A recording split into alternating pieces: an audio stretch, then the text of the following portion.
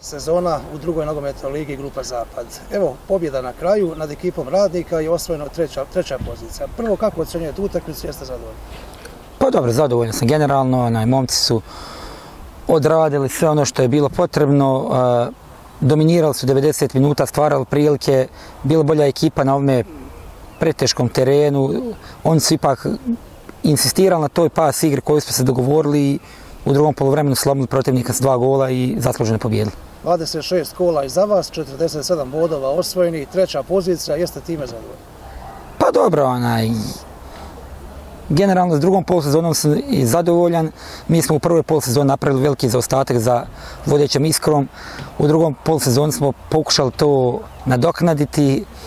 E, prvi 6-7 kola išlo, išlo veoma dobro, sve smo pobjedili. Kasnije je došlo do jednog pada u ekipi, e, jedna, dva, dva loša rezultata kući i na strani i na kraju iskra prvak. Kako ocjenjujete kvalitet ove vaše mlade ekipe? Pa sigurno da ima potencijala, ima kvaliteta, taj kvalitet bio i veći da ekipa ima optimalne uslove za rad, da ima dobar teren, ovdje je teško išta raditi, a kamoli igrati i trenirati. Nada, mislim da nam je prioritet da pokušamo nešto raditi na terenu, pa onda tek razmišljati o nekim većim rangovima. 完了完了。